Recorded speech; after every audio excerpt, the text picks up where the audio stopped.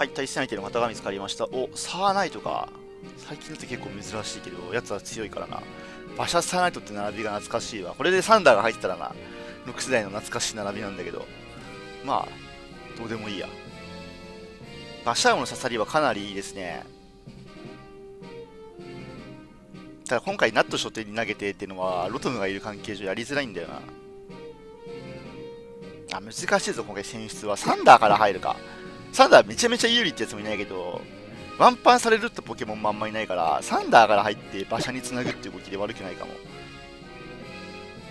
ミッキはバシャーモが殴り殺すかどうするかみたいなとこだな難しいなラティオスもなんか結構ありだと思ってんだけど、これ、ミミッキ舐めすぎか？なんとかなるっしょ。はい、対戦よろしくお願いします。今日はね、W、JCS っていうのやってるらしいけど、僕あんまダブルが興味なくて、ちゃんとしっかり見たことがないんですよね。なんかどうしても面白く感じられない。けど、けど公式はダブルをしてるしさ、世界大会とかもまあもちろん公式が押してるんで、ダブルになるじゃん。日本はなんかシングルがメジャーだけど、まあ、本当はねダブルが流行るべきなんだよな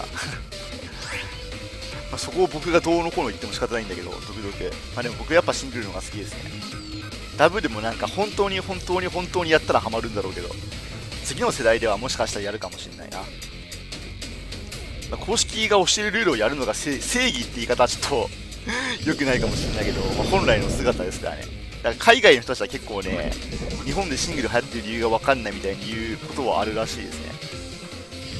なんか公式が教えるルールやるのが普通じゃねえのかみたいな。なんで日本でシングルが流行ってんだろうな。流行ってるというかメジャーなんだろう。まあ、昔、一番最初からあるルールがシングルバトルだからみたいなのはあるかもしれないけど。逆になんでシングルの世界大会とかってないんですかね。なんか運要素がとか、いろいろあるのかな。どうだろう。でも運要素がどうのこうの言ったらもうポケモンじゃないからさ運要素があるなし関係ないと思うんだよね。いやシングルのななんかその JCS、WCS でもやってほしいけどまあどうなんでしょうないんでしょうね。ただ次の際ちょっと期待したいわ。いや W をなくせって言ってるんじゃなくてもう別に両方あってもいいんじゃないかって気がしてるんですよ。日程の問題とかももちろんあるんだろうけど。だけどな欲しいよなシングルのそういう大会なみんな。まあこの程度のタイでも持ってる入ったな急所？急所じゃないか。急所なくてもこんな入るんだ。ドトムで強いんだな。サイコショックでもいいなここ。シャドーボールでもいいけど。シャドーボールにしようとか一応だけどティティフでサナイとサナダサナバックを考えてロトム突っ張ってもだけは倒せないと思うんで突っ張ってきたからだったらまあ落とせないかなシャドーボール。ギリ足んねえか。次受け出したら死ぬぐらいの HP があるけどこの微妙な HP が試合を左右したりするからな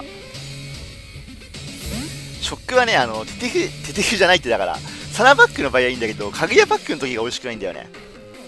サナってなんか無理の場合はショック2発で乱数一発だか確定まあ高乱一発だか確定えー、ちょっと待ってえーと、高乱数2発だか、確定2発ぐらいのダメージが入るんですよ。ショックだった場合ね。メガネショックね。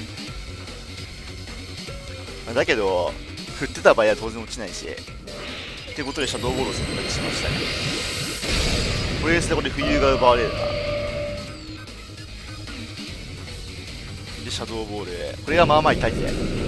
メガネを持ってるからな。よしよしよし。痛いも関係ないですね。ハイパーボイス。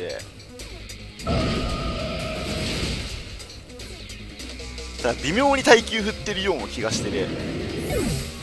シャドーボーだってこんだけしか入ってないってさ、要はゲンガーのシャドーボールの火力が出てるんですよ。普通のゲンガーのね。もうちょい入ると思うんだよね。なんか耐久ってそうだから、S は少し削ってる想定で守らない。サナは結構身代わり自然に採用できるポケモンなんで、守るはね、危険な気がするわ。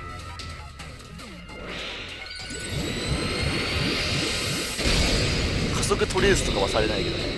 まあ、でも危険は危険ですね。トレースされないとかメガ進化してるからな。オッケーオッケー。レフリアドライブ通る。メガシンカメラトレースだからサナぶっ倒してやっぱ馬車も最速の方が使いやすいな今のところもしかしたらサナ身代わりをしてるかもしれないからな理事馬車の場合はやっぱ守んなきゃいけないからさサナに対して。守らずに行動できるっていうのはかなりでかいわ。ロトムから来た。ラストミミッキュかな。ミミッキュの場合ちょっとまだ負ける可能性が全然あるんだよな。あななんだかぐやか対戦ありがとうございました。対戦相手の方が見つかりました。おボルトランドレヒレ。僕の好きな並びですね。じゃ残りのメンツはあんま好きじゃないやつたち。バシャーモがすげえ使い勝手いいな最近。またバシャモちゃん出しちゃう。またバシャモ刺さってるしな。刺さってるかこれ。刺さってはなくない？でも悪くはないですね。ナットレイは逆にまあまあありかな。初手ボルトの場合が微妙かでも。初手ボルト1点目でラティオス投げちゃおうかな。でナットレイを後ろに控えさせると。これでいくと誰がきつい？いろいろきついポケモンもいるけど。きついなこれでも。これバシャーもしちゃうとランいやでもランドロスぶっちゃけなんとかなるかこれ。なんとかなりそうな気もするな。困ったらラッティオス投げろって言ってたろ。これでいこう。では対戦よろしくお願いします。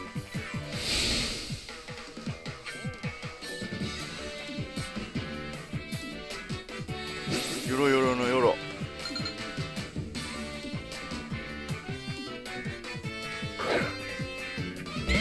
ミミッキュから来たか。あれ？これちょっと微妙じゃない？マジかよ。微妙じゃないこれちょっとうわマジか。これフリタイミンじゃん。ナットレにしかちょっとやりたくないしな。剣舞押してきていいぞ。剣舞限りは一応乱数で耐える調整をしている。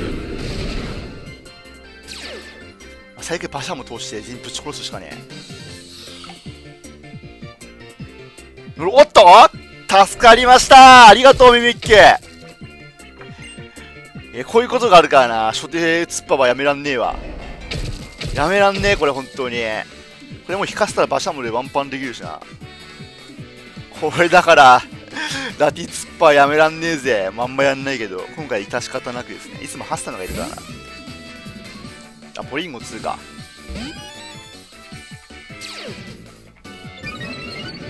まあねこれ映画があるんでそんなにって感じですね。あの HP だからな、ミミッキも。まあ、Z 呪いとかなのかもしれないけど、ラティアノこそ、バシャーも通してドーンみたいな動きが俺決められそうな感じがありますね。ここバシャームバックもなしてないけどね。できれば HP 満タンに近い状態で降臨させたいからな。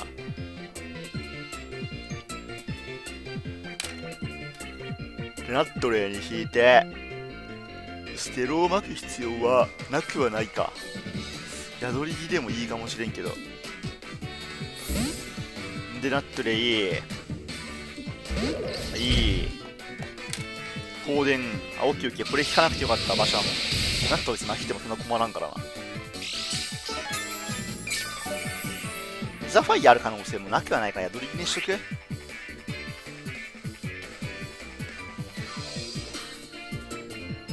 ステロにしようでも後々全抜きすることを考えるとステロああまあこれだったら宿り木じゃなくて正解だったら身代わりか。さ、それ、ポリゴン2倒せるのか、そのポリゴン、身代わり張ったところで。張ったところで倒す倒せますか、ポリゴン2がなっとれよ。まあ、放電、どうだろう、放電身代わりでしょ？再生はあると思うんだよ、身代わり張るぐらいだから。放電ってお前、それで、多分3パンで火力追いつくレベルのダメージだぞ。それは言い過ぎかもしんないな。ジャイロボール。だからこっちも身代わり壊せるかどうかみたいなところがある気がするわ。あ、壊せないんだ。壊せないけどな、これ、ほぼ3パンで追いついてるしな。PP 的にこれどうなの？あ、レイビ持ってんだ。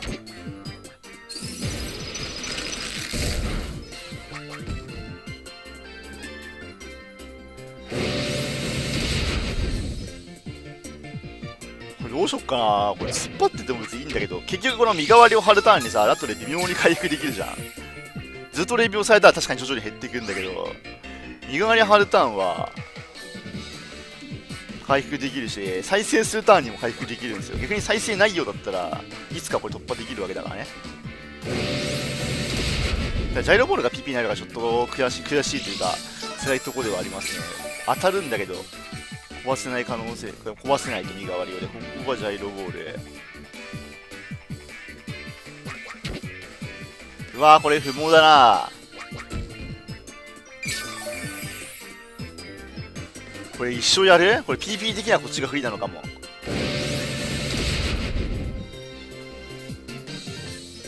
放電出たら馬車もまひっても美味しくないしな。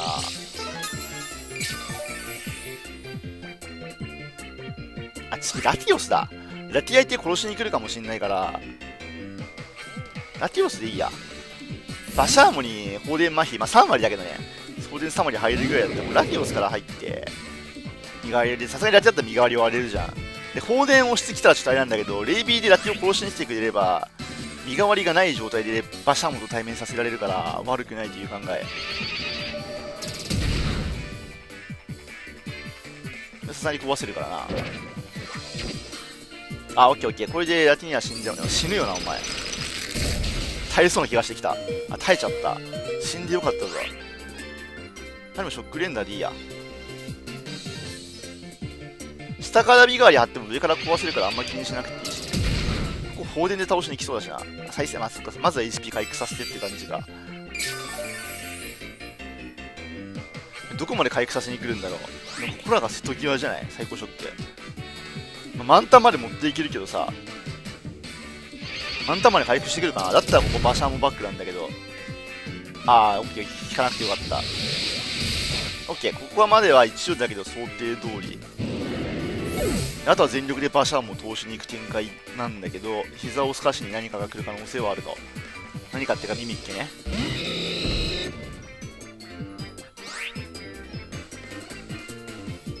リアドライブにするかここ膝すかしに来る可能性あるからな。オッケーオッケー引いてきた。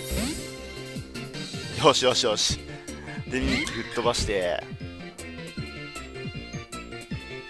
でラストとの勝負ですね。ステロがあるから相手交換繰り返していったら結構ダメージを負っちゃうし。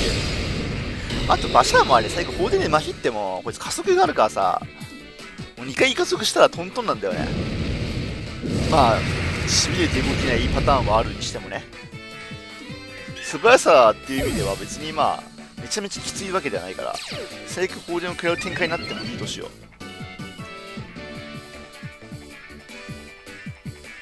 ラストグロスあたりじゃないのかな。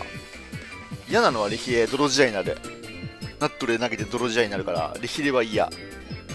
ただレヒレはレヒレでこっちに放電が入んなくなるからそれはいいところかな。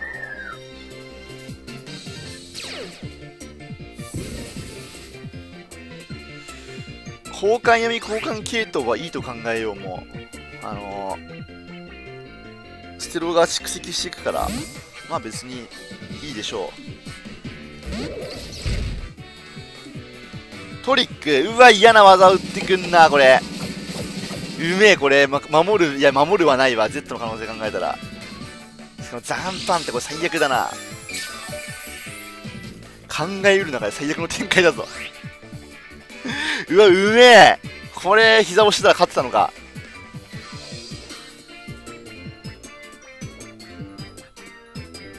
しかもメサパ持ち。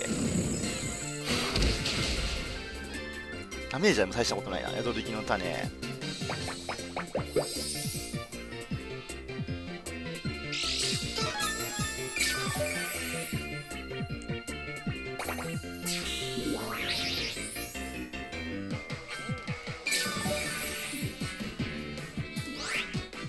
この波乗り飛んできたらもう諦めよう。その諦める。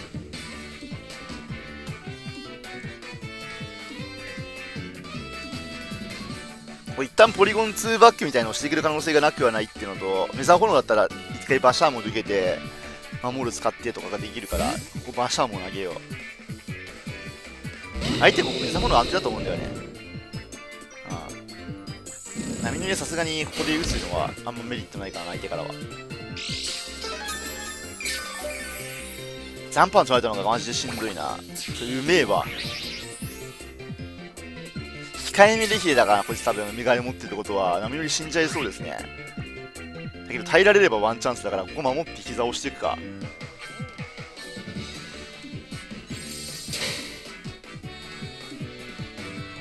ナットに引いてリップ押す展開やる？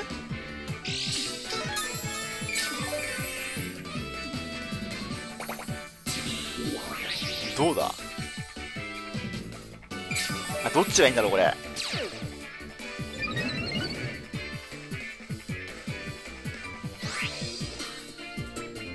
膝押そう。対戦相手いやなんか一応なんか HP 満タンだったら一発耐えたような気がしないでもないんだけど。落ちるかもな控えめできてどれぐらいパワー振ってんのかにもよるけど。まあ最近馬車も頑張ったからな。今回は仕方ない。よつかこれ多分普通に当ててても負けてるしね。クソ耐久低い出来だったらみたいなのがあったけどその場合多分パワーがあるからな、まあ、今のとこナットレーに1回引いてビップってやりたいけど結局ポリゴン2に引くってされちゃうと予備解除になっちゃうし結局きついんだよね。これ相手がうまかった。対戦ありがとうございました。